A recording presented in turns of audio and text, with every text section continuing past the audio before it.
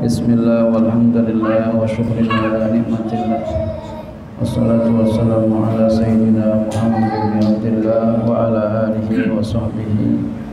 Wa man tabi'u nasar wa wala wa la hawla wa la quwwata illa billah. Amma ba'd. Hadratul mukarramin wal mukhtaramin para jamaah para bapak, para ibu hadirin yang dimuliakan Allah Subhanahu wa taala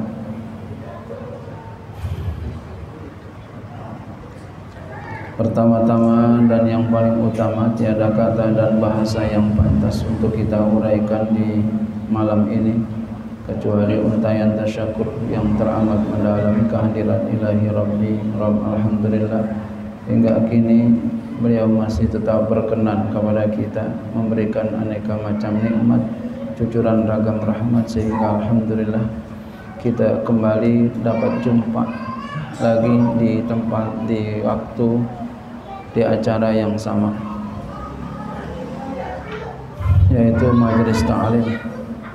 Salawat juga salam semoga selalu diberikan kepada junjungan kita pimpinan kita Sayyiduna Muhammad sallallahu alaihi wasallam. Bapak Ibu sekalian Sebentar lagi kita akan jumpa Ramadan bulan yang sangat mulia, bulan yang sangat agung, bulan yang di dalamnya terdapat berbagai macam fadilah keutamaan yang Allah Subhanahu wa taala berikan kepada bulan Ramadan. Di antaranya adalah bulan yang di dalamnya Allah Subhanahu wa taala wajibkan puasa. Puasa itu suatu ibadah yang diberikan diwajibkan oleh Allah Subhanahu wa taala kepada hambanya mengandung kemanfaatan untuk kita manusia yang sangat besar dan banyak. Pada zahirnya mungkin kita merasa berat menahan lapar dari pagi dari beduk subuh sampai dengan beduk maghrib. Padahal makanan itu makanan kita minuman-minuman kita.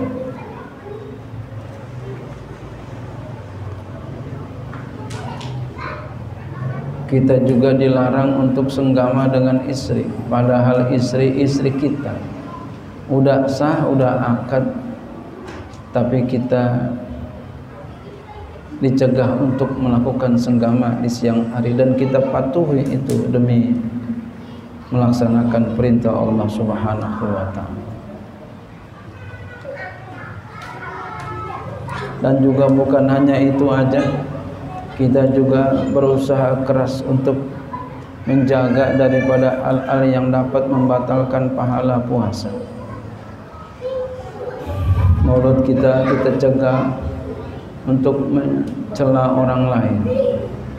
Mulut kita kita cegah untuk menggibahkan orang lain. Mulut kita kita cegah untuk menghina orang lain. Mata kita pun kita jaga. Mata kita kita jaga daripada yang diharamkan oleh Allah. Mata kita kita cegah daripada sesuatu yang dilarang oleh Allah Subhanahu wa taala telinga kita juga kita jaga. Dari mendengar yang diharamkan oleh Allah. Kaki kita melangkah kita jaga. Dari yang diharamkan oleh Allah. Tangan kita pun kita jaga. Dari yang diharamkan oleh Allah. Sampai yang paling dalam. Yang di mana malaikat tidak pernah tidak bisa bahkan tidak akan bisa menjangkau tanpa izin Allah. Yaitu hati kita. Kita jaga hati kita dari hal-hal yang dilarang oleh Allah Subhanahu wa taala. Tuh puasa. Makanya apabila kita melaksanakan puasa ini kita jaga makan, minum, senggama dan juga kita jaga mata kita, telinga kita, mulut kita, tangan kita, kaki kita, bahkan hati kita dari yang dilarang oleh Allah maka dia sebagaimana firman Allah Subhanahu wa taala ya ayyuhallazina amanu ya ayyuhallazina amanu kutiba alaikum siyam kama kutiba alal ladzina min qablikum la'allakum tattaqun. Wahai orang-orang yang beriman telah diwajibkan kepada kamu berpuasa sebagaimana telah diwajibkan kepada orang-orang sebelum kamu la'allakum tattaqun la'ala kalau Allah yang bicara itu adalah kepastian. Sebagaimana dikatakan oleh Imam Suyuti dalam tafsir jalan lainnya jadi kalau la'ala Allah yang katakan pasti. La'allakum tattaqun.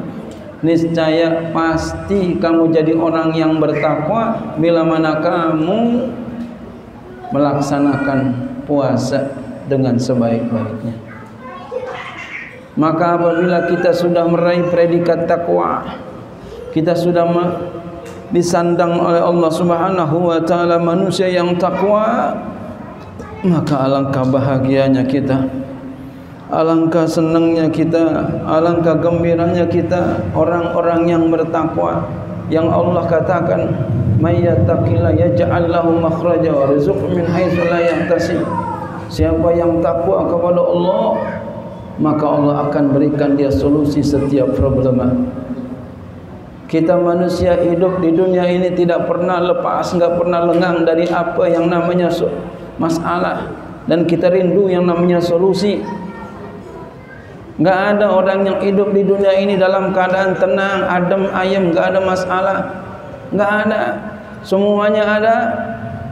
Maka jangan lari kita dari masalah kita hadapi dengan apa? Takwa. Maka dikatakan takwa itu adalah takwa itu adalah solusi sebelum masalah. Maka sebelum kita banyak punya masalah takwa kita kepada Allah. Takwa adalah imtisalu awamirillah wajtinabun nawahihi melaksanakan segala perintah Allah dan menjauhkan segala larangannya apa-apa yang Allah perintahkan kita berusaha sekeras mungkin. Kita berusaha semampu mungkin. Segenap tenaga kita keluarkan segenap tenaga kita kerahkan. Untuk apa? Patuh kepada Allah Subhanahu wa taala. Kemudian orang yang takwa diberikan apa lagi? Orang yang takwa di antaranya dikasih oleh Allah Subhanahu wa taala ya dikasih problemnya jalan keluar dan dikasih rizki dari jalan yang tidak disangka-sangka. Siapa yang tidak mau dikasih rizki yang banyak? Hanya orang bodoh yang enggak mau dikasih rizki yang banyak padahal dia butuh. Maka takwa itu akan membawa kita menjadi orang yang senang dalam rizki, banyak rizkinya, berkah rizkinya. Orang yang takwa kepada Allah Subhanahu wa taala. Lihat ulama kita Apakah ada ulama kita yang susah? Kiai, ada yang kira-kira kira-kira di Jakarta yang susah kiai? Enggak ada semuanya senang. Kenapa? Itu adalah buah daripada upayanya. Itu adalah buah daripada usahanya yang keras untuk takwa kepada Allah Subhanahu wa taala. Puasa salah satu jalan untuk meraih predikat takwa. Jadi saya katakan puasa itu akan membawa kebahagiaan kita batinan wa zahiran. Yang zahir apa? Sehat. Sumu tasi'u puasalah kamu kamu akan jadi sehat. Pengalaman pribadi. Ya. Eh. Ada orang. Pengalaman pribadi ada seseorang dia puasa setadinya puasanya itu Nabi Daud, puasa Nabi Daud. Pengalaman pribadi seseorang. Tadinya dia itu puasa Nabi Daud. Ketika dia puasa Nabi Daud, dia suka namanya buang-buang air. Ini beneran, Pak. Pengalaman pribadi seseorang. Ketika dia puasa Nabi Daud, ya, masih Nabi Daud dia puasa, bukan puasa Nabi Daud itu jelek, bukan. Enggak bagus sekali. Ketika dia puasa Nabi Daud, mungkin ini isyarat dari Allah kepadanya. Dia selalu buang-buang air besar. Cukup lama dia puasa Nabi Daud. Udah tahunan, belasan tahun dia puasa. Dia puasa Nabi Daud. Ya. Masih buang-buang air. Buang-buang air. Suka buang-buang air muntah, muntah apa berak-berak. ya,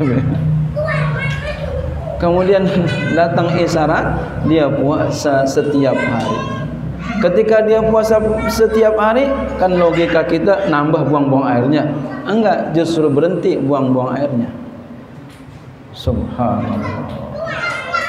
Jadi sedekah Rasulullah sallallahu alaihi wasallam Sumu tasihu puasalah kamu niscaya kamu akan jadi sehat. Jadi kalau kita kepengen sehat puasa, tapi ingat puasanya sesuai dengan syariat. Apa puasa dengan syariat? Lakukan buka, lakukan sahur. Jangan sampai waktunya buka kita enggak buka. Jangan sampai waktunya sahur kita enggak sahur. Kenapa? Karena buka dan sahur diperintahkan. Tasaharu fa inna sahura barakah. Sahurlah kamu karena sahur itu berkah. Betapa enggak berkah makan. Ketika kita makan apa yang terjadi badan kita segar. Badan kita sehat. Kuat. Lebih mampu kita untuk melaksanakan puasa. Inilah di antara fa inna sahura barakah karena sahur itu keberkahan. Di samping kita mendapati badan yang sehat, kita juga mendapati predikat satu predikat satu sisi daripada takwa yaitu melaksanakan perintah Allah Subhanahu wa taala, perintah Rasulullah sallallahu alaihi wasallam untuk bersahur.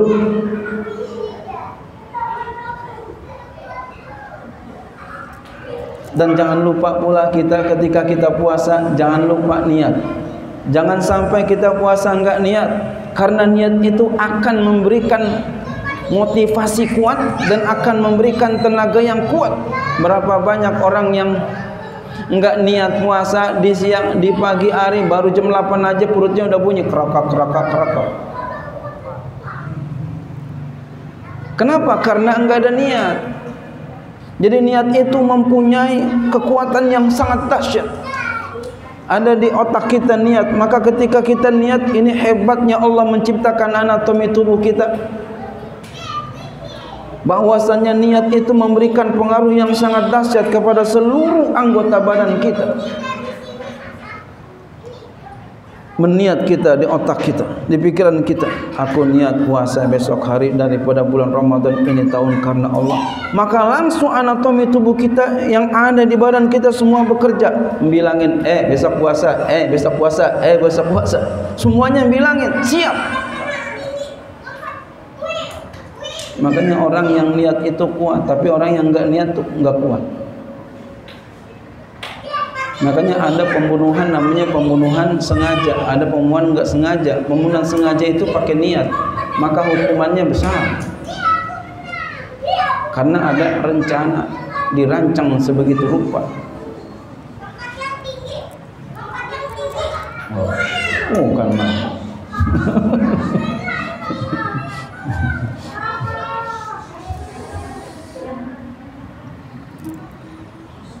Jadi puasa membawa kita kepada dua kebahagiaan. Zahirun wa batinan zahirnya badan kita sehat batinnya kita termasuk orang-orang yang bertakwa kepada Allah Subhanahu wa taala. Mudah-mudahan besok kita bisa puasa dengan lancar dengan baik badan kita sehat dan kita ditakdirkan oleh Allah Subhanahu wa taala orang yang diberikan kekuatan untuk ibadah kepada Allah. Orang yang semangat ibadah bukan orang yang malas, orang yang semangat ibadah kepada Allah Subhanahu wa taala. Siang malam kita ditakdirkan ibadah kepada Allah. Bukan hanya bulan Ramadan, maka warna-warna bulan Ramadan kita minta sama Allah Subhanahu wa taala mudah-mudahan akan mewarnai bulan-bulan berikutnya. Terus sampai kita akhir hayat kita mudah-mudahan ya Allah Allah berikan kita semangat selalu ibadah enggak ada malas ya Allah enggak ada malas ya Allah enggak ada malas ya Allah. Sampai meninggal dunia ya Allah kau takdirkan kami termasuk orang-orang yang semangat ibadah kepadamu semangat melaksanakan seluruh perintahmu dan semangat meninggalkan seluruh laranganmu amin ya rabbal alamin. Ini saja yang dapat kami sampaikan. Lebih kurangnya mohon maaf terima kasih atas semuanya.